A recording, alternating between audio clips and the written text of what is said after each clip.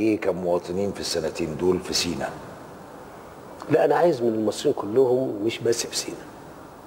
ما هو حتى حتى ناخد سينا الأول وبعدين نروح لبقيه الحاجات. آه عايز من المصريين حاجة واحدة بس.